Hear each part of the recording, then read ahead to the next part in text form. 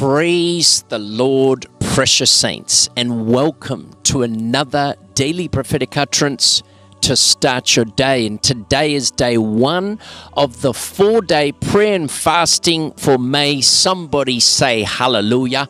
And I just have this word in my spirit, precious saints. The Bible says, according to Ephesians 5, verse 14, therefore he says, Awake you who sleep, arise from the dead, and Christ will give you light. And according to Isaiah 26, verse 19, your dead shall live together with my dead body. They shall arise, awake, and sing. You who dwell in dust, for your dew is like the dew of herbs, and the earth shall cast out the dead. And according to Romans 13, verse 11, it says, And do this, knowing the time that now is high time to awake out of sleep, for now our salvation is nearer than we first believed. Somebody say hallelujah. Precious saints, I am here to declare to you that Christ Jesus is coming back soon. He is coming back for a glorified church. He is coming back for a spotless church. He is coming back for a blameless bride. Somebody say hallelujah. And I believe that revival is coming to the church of Jesus Christ. Yes, I will say it again. I believe that revival is coming to the church of Jesus Christ, to the remnant, to prepare a remnant bride for himself. He is coming for a spotless bride. And I believe that revival is coming. And even as now I'm coming from the prayer mountain, as the autumn rains are starting to kick in to make way for the winter. And just as I received a word from these prayer mountains saying that the rain of the Holy Spirit is coming, I am also continually declaring across the earth that Jesus Christ is the only way to heaven. He is the way, the truth, and the life. And in Him, if we put our trust in Him, we shall not die but have eternal life in Him because He is the resurrection and the life. Somebody say hallelujah. Jesus Christ is about to come back and to return. We are in the end times, we are nearer than ever before. And just as the Bible says, awaken from your spiritual sleep, awaken you spiritually dead. That's what happens when revival comes, it brings to life that thing that is dead. It brings to life. And just as the Bible says, according to Ezekiel 37, we see that even the prophet, he was taken to the mountain. God took him to the mountain and he said, Look down in the valley. What do you see? He says, I see spiritual bones. And he says, Is it possible for them to come alive? And he says, I do not know anything, but God, you know everything. And then he commands the prophet, Speak to those dry bones that they may come alive. Even in the midst of a situation that is happening all across the earth, God is speaking to the church of Jesus Christ. God is speaking. He is speaking through his remnant. He is speaking through his remnant within this hour, and he is saying, I will do the impossible. I will do the impossible. God is about to pour out His Spirit in such a measure we have never seen before. And as I have traversed the earth, as I've been declaring this, people have been asleep.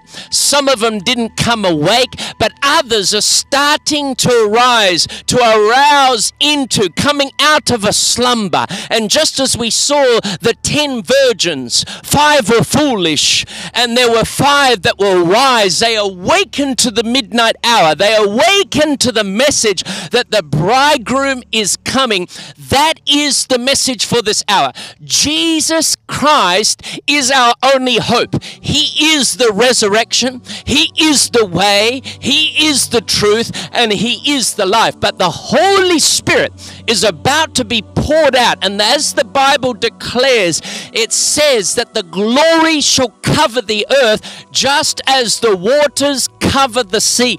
And I believe that revival is coming to the nations, even in the midst of turmoil, even in the midst of rumors of war, even in the midst of all civil unrest taking place across the nations, and all different things taking place, even within your personal life.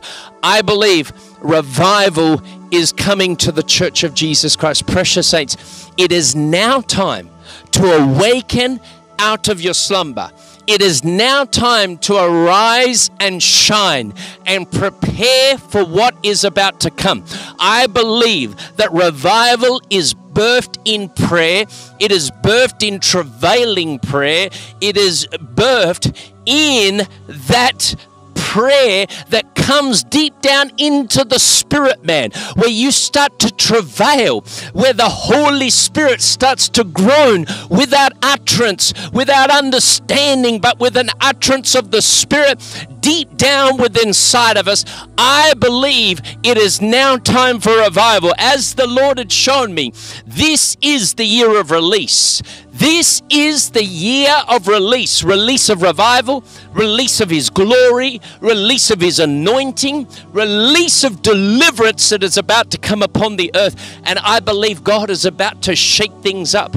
God is about to shake things up, but He is also looking for an army, an army that will arise and shine, that will wake up from the slumber, that will wake up and arise and be aroused to the call of Jesus Christ, that He is calling us. He is telling us to arise and shine in this hour. Precious saints, it is time. It is now time as you press in to this four day fasting, as you press in, I would encourage you, I would encourage you to humble yourself. Humble yourself under God's mighty hand and say, God, if any of these attributes are operating in my life, in my family life, in my generational family line, Lord, cut it off from the root today cut it off from the root today. I am a new creation. I want to be separated. I want to be separated from everything that is happening around me at this particular time. I want to be separated. I want to be used for God's glory. God wants to use you.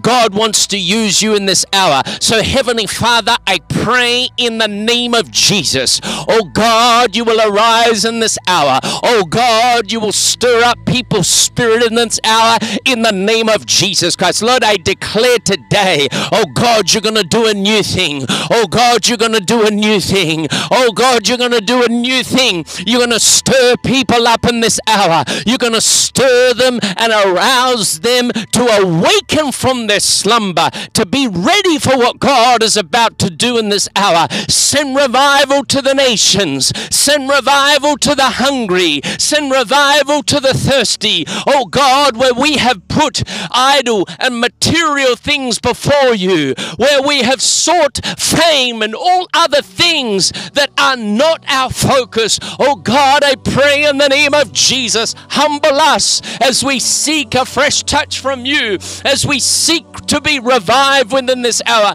Come and touch people, even over the next four days. Revive your people, even over the next day. Oh God, I pray that you you would stir people up in the name of Jesus. Holy Ghost, I pray, let there be a travail in each person's spirit. Let the Holy Ghost rise up within us. We are hungry, we are thirsty. Oh God, you're about to do something. Oh God, you're about to touch. Oh God, you're about to move in this hour like never before. Oh God, arise and let our enemies be scattered in the name of Jesus. Oh God, arise arise and deliver your people. Oh God, arise and heal your people. Oh God, make a way where there seems no way. In the name of Jesus Christ, have your way, oh Lord. Have your way, oh Lord. Have your way, oh Lord. Have your way, oh Lord. In the name of Jesus, we declare it today. In Jesus' mighty name, we pray and believe.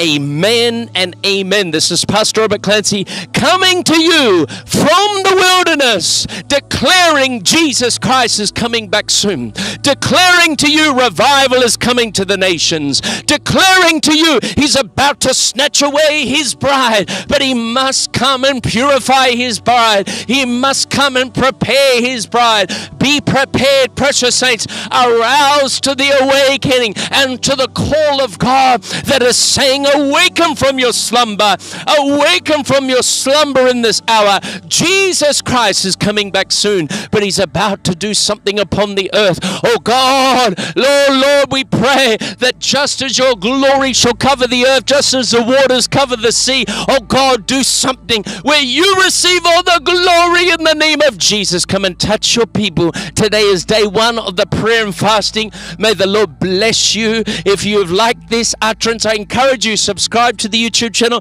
follow us on Facebook or Instagram or TikTok, or even go to our free website repentancerevival.com.